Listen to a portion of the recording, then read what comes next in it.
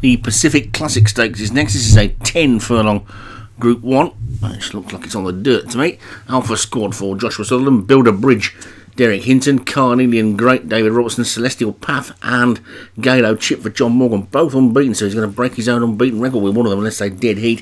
Hookem for Dan Hughes, Johnny Guitar, Leon Van Rensburg, Monsoon Sunrise, Paul Rhodes, Stranger Tides, Padraig Hogan, One Eyed Man, Derek Hinton, Anaheim Gilles, Vinnie Gerard, Duke Del Rama, Darren Thompson, Little Black Bear, Paul Rhodes, and Milan's Richard for Dan Hughes. 14 of them in this then.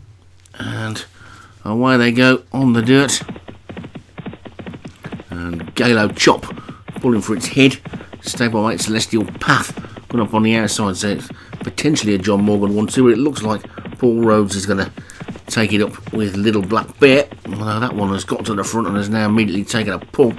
And now it's Monsoon Sunrise on the outside, which is another Paul Rhodes in a different set of silks.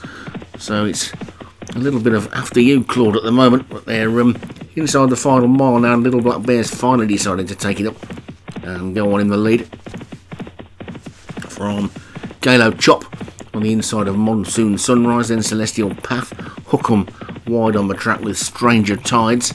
These two are going to lose a little bit of ground on the home turn, but Little Black Bear has suddenly found himself three clear of Hookem up the centre of the track, Galo Chop, Monsoon Sunrise, and One Eyed Man, Stranger Tides wide, looking towards the back. Anaheim Gilles, the grey, was the back marker just gone past the pink jacketed builder bridge, but past the five furlong pole, Little Black Bear is in the lead by the best part of three lengths. To Hookem in second, Galo Chop in third, One Eyed Man four, then Monsoon Square. Also trying to get into it now is Johnny Guitar going up the inside. Anaheim Gilles going to look for a bit of a dream spit up the inside, might get a bit of a barging match going in there. But it's Little Black Bear from Alpha Squad who suddenly come through.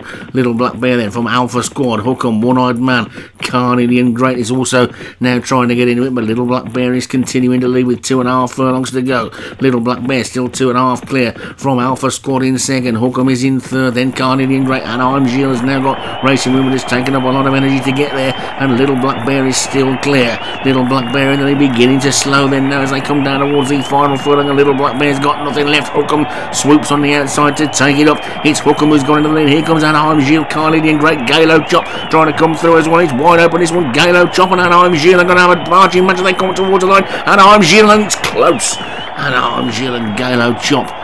Again, difficult to split. And like to have to call this. Ah, oh, he's very close. Surprised there's not a steward's inquiry as well. It did get a bit messy on the turn.